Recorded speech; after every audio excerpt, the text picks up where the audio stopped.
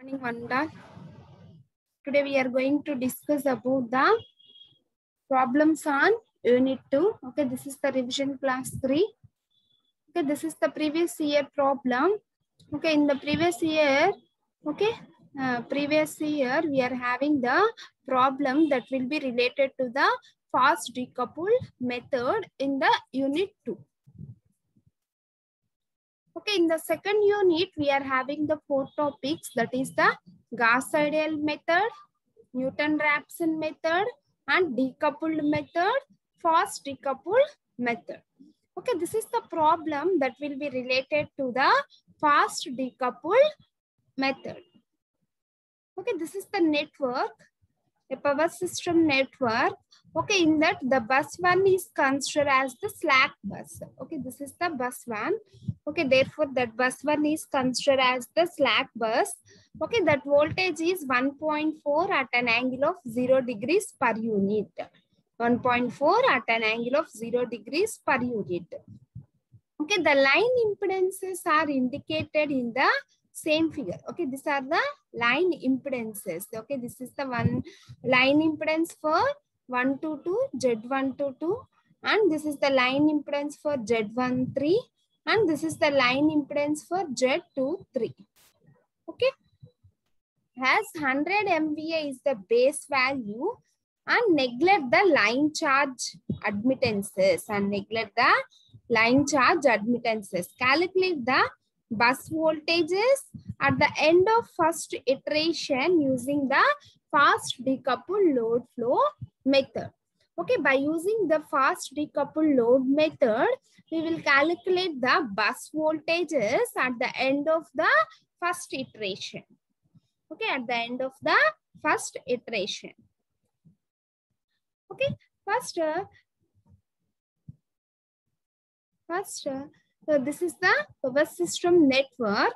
Okay, in this network, we write down the impedance values. Okay, this is the impedance values. Therefore, Z12. Therefore, Z12 is equal to 0 0.02 plus J 0 0.04. Okay, this is the Z12 value. And next, Z13. Okay, therefore Z13 is equal to 0 0.03 plus J 0 0.05 plus J 0 0.05. Okay, next Z23. Z23 is equal to 0 0.01 plus Z 0 0.02. Okay, this is the given impedance values from the power system network. Okay, by using these impedance values, okay, first we calculate or we form the Y bus matrix for determine the bus voltages at the end of the first iteration. Okay, clear ma? First, we are having the, how many buses are there? We are having three buses. Therefore, the dimension for that Y bus is equal to the 3 by 3. Okay, therefore, the dimension for Y bus matrix is 3 by 3. Okay, therefore, Y bus is equal to Y11, Y12, and Y13, and Y21, Y22, Y23. Next, Y31, Y32, Y33. Okay, this is the Y bus matrix. Okay, we are having the three buses. Then the dimension for that Y bus matrix is 3 by 3. Okay, therefore, next we calculate the Y bus matrix. First, we calculate the Y bus matrix. First, what is the formula for Y11?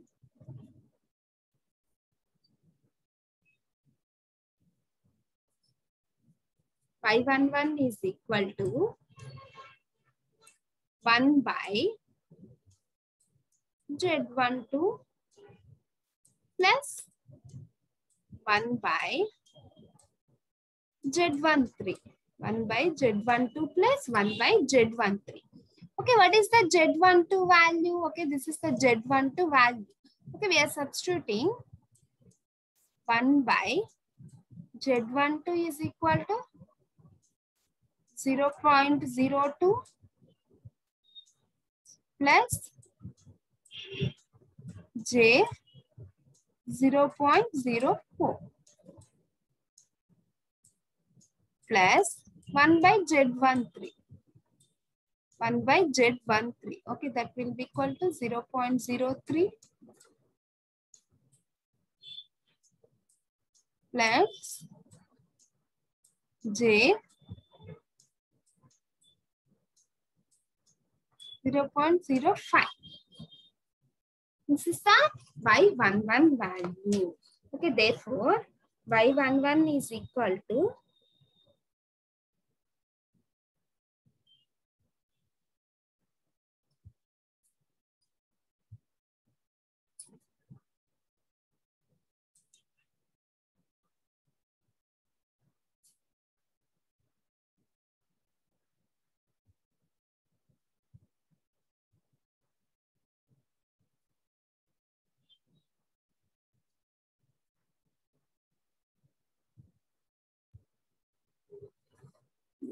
Okay, next we calculate the Y22.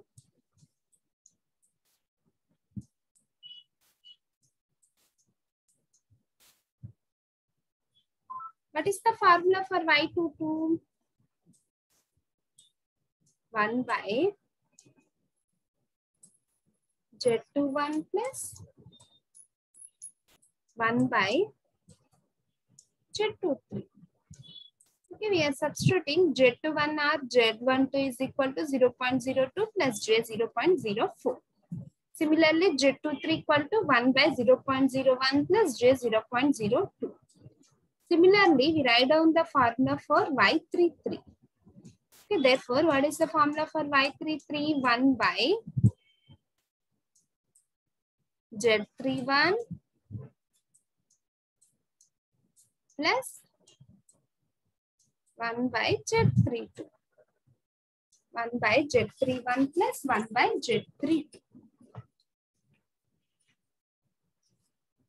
Next, similarly, we write down the formula for Y12 or Y21. Y12 is equal to R Y21. Y21 is equal to minus 1 by minus 1 by Z12. Okay, what is the Z12? That is 0 0.02 plus J 0 0.04. Next, similarly, we write down the formula for Y13. Okay, therefore, Y13 is equal to Y31. Y13 is equal to Y31. Okay, therefore, Y31 is equal to minus 1 by minus 1 by Z13. Okay, we are substituting Z13 is equal to 0 0.03 plus J 0 0.05. Okay, similarly, we write down the formula for Y23. Similarly, we write down the formula for Y23 or Y32 or Y32. Okay, therefore, Y32 is equal to minus 1 by Z23 R32 minus 1 by Z23 R Z32. Okay, this is the procedure for determining the Y-bus matrix. Okay, this is the formulas for finding the Y-bus matrix. okay, clear ma? This is the procedure. This is the formula for calculating that Y-bus matrix. Okay, after calculating all these values by using these formulas and then we form the Y-bus matrix. Then we obtain the Y-bus matrix. Okay, therefore, after forming the Y-bus matrix, okay, after forming the Y-bus matrix, okay, what is the Y-bus matrix? Therefore, that is, we are having the three buses, then Y bus is equal to, okay, we are substituting all the values in the Y bus matrix, that is Y11 value, Y12 value, and also Y13. Okay, in this case, Y11. Okay, by using the formulas, okay, we calculate the Y11 value. Okay, therefore, Y11 means the that is G11 plus J B11. Okay, therefore its value is G11 plus J B11. Suppose by using the formula Y11 formula, we obtain Y11 value is okay, we obtain the Y11 value is 30 minus J60. 30 minus j 60 okay therefore in this case this is g11 g11 so this is minus j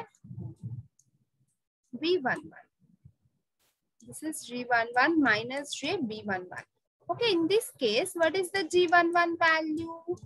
Okay, therefore G11 is equal to 30. And what is the B11 value? And B11 is equal to 60. B11 equal to 60. Okay, similarly, we write down Y12 means G12 minus JB12. JB12. Okay, similarly, we write down Y13 means G13 minus J B13. G13 minus J B13. Okay. After calculating the Y bus matrix, then we separately write down the values for G11 and G22 and G33 and G12, G13, G23, G23. Okay, similarly, we write down the values for B11, B22 and B33. Similarly, we write down the values for B12, B13, B23. Okay, clear ma? After writing the G and the B values, okay, after write down the G and the B values, okay, we perform the fast decoupled load flow solution. Okay, clear ma? After write down the G and the B values and then we perform the fast decoupled load flow solutions, load flow method. Next, the performance equation by fast decoupled method. Okay, next the performance equation by fast decoupled method is that is delta P2 by V2 conjugate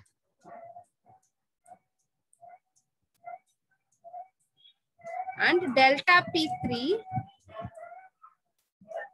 by V3 conjugate into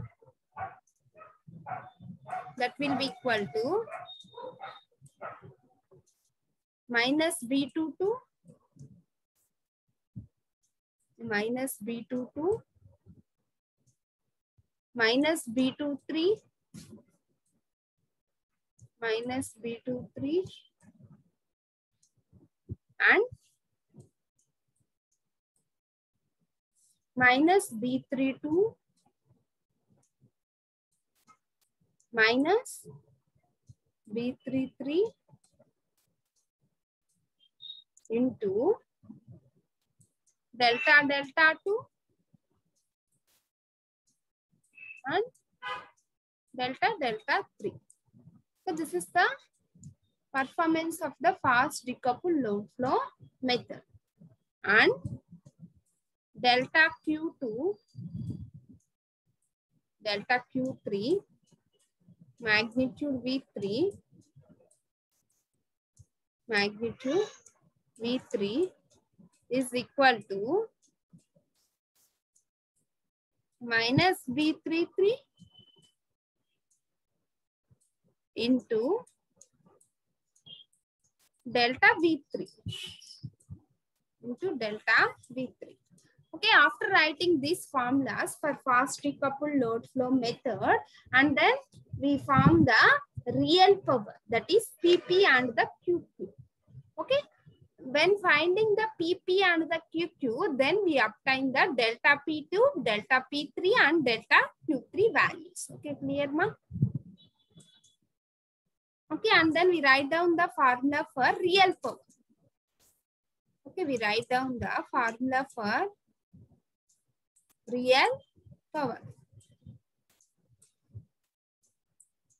Okay, what is the formula for real power? That is PP. Reactive power means QP. Therefore, the real power PP is equal to, we are having the formula for finding the real power that is PP is equal to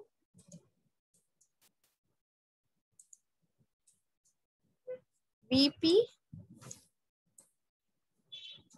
sigma Q is equal to 1 to N. N means we are having the three buses. Therefore, Q is equal to 1 to 3. Sigma Q is equal to 1 to N. Magnitude VQ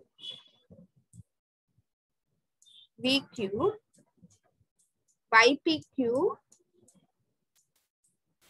YPQ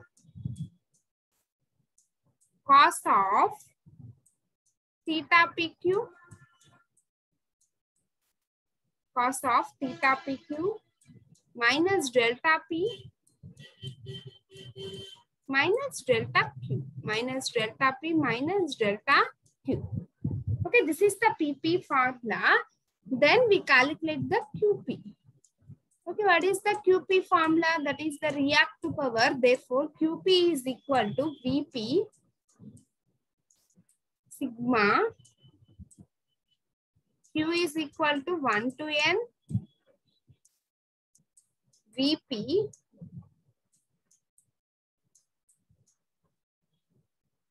by PQ is PQ YPQ sine of YPQ sine of theta PQ plus sine of theta PQ plus delta P minus delta Q. Delta P minus delta Q. Okay, this is the formulas for the real power and the reactive power. Okay, in this case, n is equal to 3. Therefore, sigma q is equal to 1 to 3. And then we write down the formula for P2 calculated. From this formula, from by expanding the sigma value and then we obtain the P2 calculated value and also P3 calculated value and also P3 calculated value. After that, we are calculating the, after that we are calculating the Q2 calculated. We are calculating the Q2 calculated and also Q3 calculated. Okay, uh, when substituting Q is equal to 1 to N, N means the 3. Okay, we are having the three buses. Therefore, we are substituting Q is equal to 1 to 3. Okay, by uh, expanding this sigma value and then we calculate the P2 calculated value, P3 calculated value and Q2 calculated value and Q3 calculated value. Okay, after calculating the Q2 calculation, then we calculate the delta P2. Then we calculate the delta P2. Okay, what is the formula for delta P2? Therefore, delta P2 is equal to P2 specified. Okay, this is the specified means the given value. P2 specified minus minus P2 calculated. P2 specified minus P2 calculated. Okay, this is the delta P2 value. Okay, after that we are calculating the delta P3. Okay, therefore delta P3 is equal to P3 specified P3 specified minus minus P3 calculated. Okay, P3 specified minus P3 calculated. Okay, similarly we calculate the reactive powers that is delta Q2. Okay, therefore delta Q2 is equal to Q2 specified Q2 specified minus Q2 calculated minus Q2 calculated. Okay, similarly we write down the formula for delta Q3. Okay, therefore, delta Q3 is equal to Q3 specified, delta Q3 is equal to Q3 specified minus QT calculated. Okay, this is the formulas for delta P2, delta P3, delta Q2, then delta Q3. Okay, after calculating these all the values, okay, after calculating that delta P2, delta Q3, all the values, and then we are substituting values in this equation, that is the fast decoupled method, that is delta P2 by magnitude V2 conjugate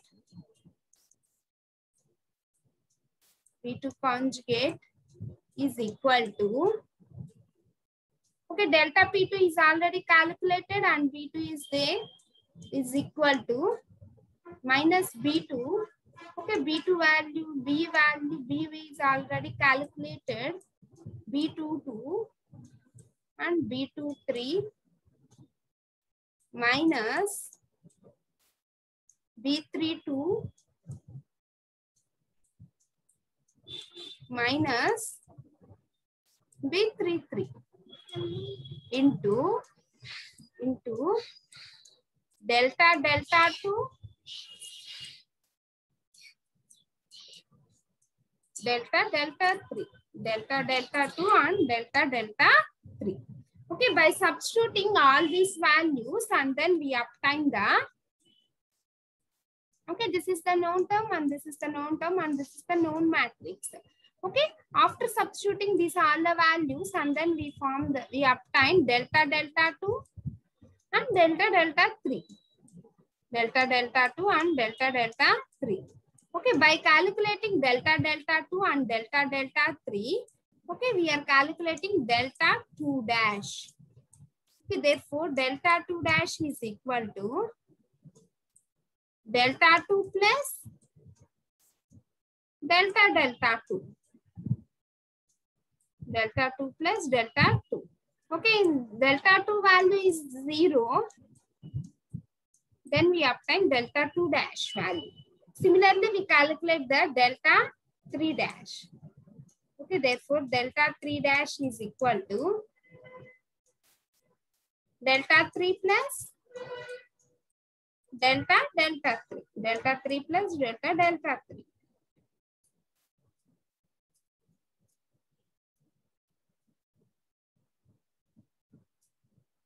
Similarly, we calculate the voltage by using the reactive power.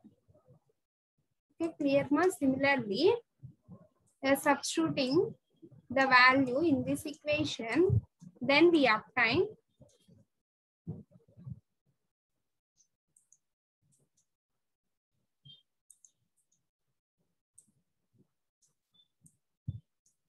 delta Q3 magnitude V3 decrease is equal to minus B33 minus B33 into delta V3 into delta V3 by substituting all these values in this equation and then we obtain the delta V3. And then we obtain the delta V3. Okay, this is the fast decouple for the first iteration. Okay, delta V3 and delta 2 dash, comma, delta 3 dash. Okay, this is the procedure for calculating the voltage for the first iteration by using the fast decoupled method. Okay, by using the fast decoupled method. Okay, clear ma? Okay, this is the first problem.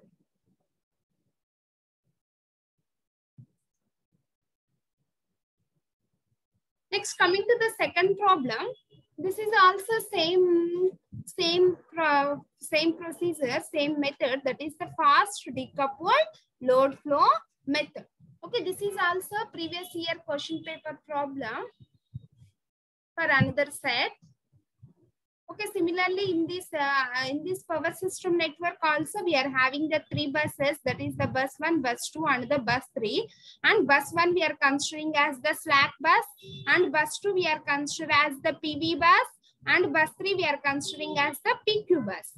Okay therefore we are having the impedance values are there for z12 z13 z23 okay similarly by using the previous uh, problem procedure Okay, by using the previous problem procedure, similarly, we calculate the um, voltages uh, by using the fast decoupled load flow method for the first iteration. Okay, clear ma?